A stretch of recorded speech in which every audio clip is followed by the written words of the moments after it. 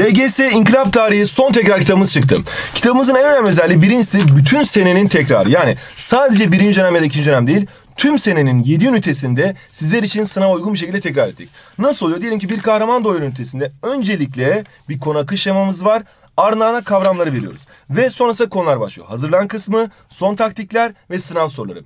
Ardından başka bir üniteye geçelim mesela. Bu ünite bitsin, adım adım liderliğe bitsin. Milli uyanış. Bu sefer biraz daha uzun kavramlarımız var. Çünkü bu ünitede biliyorsunuz birçok kavram var. Konu akış şemamızdan sonra geliyor. Ve Birinci Dünya Savaşı'na yol açan gelişmelerde hazırlan kısmında konular, son taktikler ve gerçekten orta ve üst seviyede olan sınav soruları.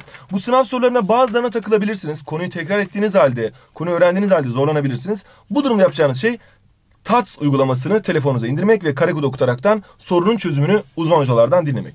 Tüm senenin özetini, son tekrarını yapıp LGS'de son adımı da tamamlayıp başarı yakalamak istiyorsanız mutlaka İnkılap Tarihi son tekrar kitabıyla çalışmalarınızı tamamlayın. Şimdiden başarılar arkadaşlar.